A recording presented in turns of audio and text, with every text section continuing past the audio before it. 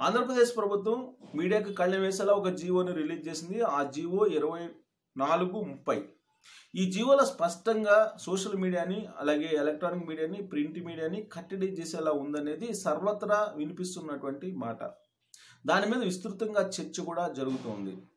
ఇక్కడ మీడియా స్వేచ్ఛను కోల్పోతుంది అనేటువంటి అంశం తెర మీదకి వస్తుంది. ఆ స్వేచ్ఛ ఎక్కడ కోల్పోతున్నారు? జర్నలిస్టులు కోల్పోతూ ఉన్నారా? మీడియా హౌసెస్ కోల్పోతూ ఉన్నాయా? యాజమాన్యం కోల్పోతుందా? ఇక్కడ ప్రధానమైనటువంటి అంశం. వాస్తవంగా జర్నలిస్టుల స్వేచ్ఛ అనేది ఎప్పుడో పోయింది అనేది నా వ్యక్తిగతమైనటువంటి అభిప్రాయం. ఎప్పుడైతే పొలిటికల్ లీడర్స్ ప్రభుత్వంలో ఉన్నటువంటి వాళ్ళు యాజమాన్యాలతో డైరెక్ట్గా టైఅప్ పెట్టుకొని వాళ్ళకు అనుకూలమైనటువంటి వార్తలు రాయించుకునేటువంటి వాతావరణం వచ్చింది కాబట్టి ఆనాడే జర్నలిస్టుల యొక్క స్వేచ్ఛ పోయింది. జర్నలిస్టులు స్వేచ్ఛ పోయినప్పుడు ఆటోమేటిక్గా మీడియా స్వేచ్ఛ కూడా లేదు అనేది అందరికీ తెలిసినటువంటి నగ్న సత్యం. ఇది అవునన్నా కాదన్నా.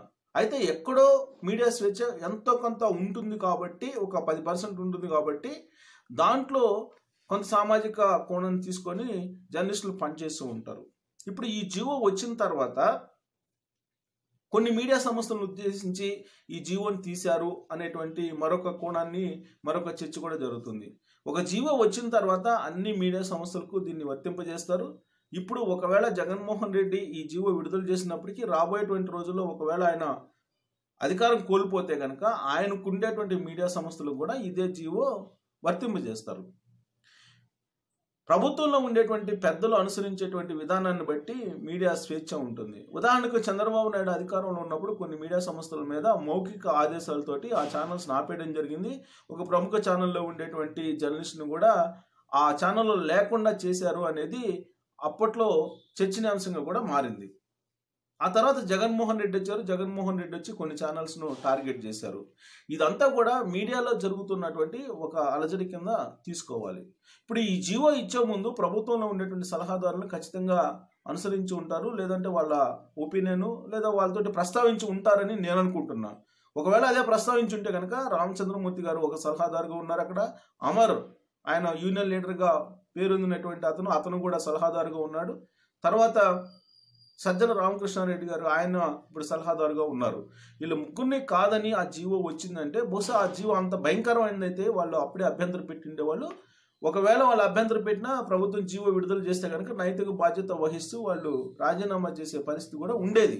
కానీ వాళ్ళు రాజీనామా చేయలేదు కాబట్టి ఆల్రెడీ అంత ప్రమాదకరం కాదేమో అనేటువంటి ఒపీనియన్ కూడా వస్తుంది. సాధారణంగా నిరాధారమైనటువంటి వార్తలు రాసిన నిరాధారమైనటువంటి వార్తలను ప్రచురించిన టెలికాస్ట్ చేసిన చట్టం ఆల్రెడీ ఉంది. ఇప్పటికే లీగల్ నోటీసులు పంపిస్తూ ఉంటారు. ఆ లీగల్ నోటీసుల మీద రిప్లై ఇస్తూ ఉంటారు. కోర్టుకు వెళ్తూ ఉంటారు. కొన్ని కొన్ని కో- కేసుల్లో శిక్షలు పడుతూ ఉంటాయి. ఫైన్ కూడా పడుతూ ఉంటుంది. ఇప్పుడు కొత్తగా ఈ జీవోలో పొందుపరిచిన అంశం ఏంటంటే సమాచార శాఖతో పాటు అన్ని విభాగాలకు సంబంధించినటువంటి కార్యదర్శులకి ఈ నిరాధారమైనటువంటి వార్తల మీద చర్యలు తీసుకునేటువంటి అధికారం ఇవ్వడం జరిగింది. అంటే ఆల్రెడీ ఉన్నటువంటి చట్టానికి మరింత పొదును పెట్టారు అనడంలో ఎలాంటి సందేహం లేదు. ఈ పరిణామం అనేది మీడియాను సంస్కరణలకు పనికొస్తుందేమో అనేటువంటి ఒక ఆశ అయితే కలుగుతుంది ఇప్పుడు నాకు. ఎందుకంటే మీడియా సంస్థల్లో అనేక సంస్థల్లో అన్క్వాలిఫైడ్ పీపుల్ ఉన్నారు. బ్రోకర్స్ రియల్ ఎస్టేట్ కమిషన్ కోసం రియల్ ఎస్టేట్ బ్రోకరేజింగ్ చేసేవాళ్ళు అలాగే తెర వెనుక భోగాతాలు చేసేవాళ్ళు అనేక మంది మీడియా సంస్థల్లో ఉన్నారు. వాళ్ళని యాజమాన్యమే కొన్ని యాజమాన్యాలు పో ప్రోత్సహిస్తున్నాయి. తెర వెనుక డబ్బు సంపాదనకు వాళ్ళని ఉపయోగించుకుంటున్నాయి. దాంతో ప్రొఫెషనల్ జర్నలిస్టులు వెనక్కి వెళ్ళిపోతూ ఉన్నారు.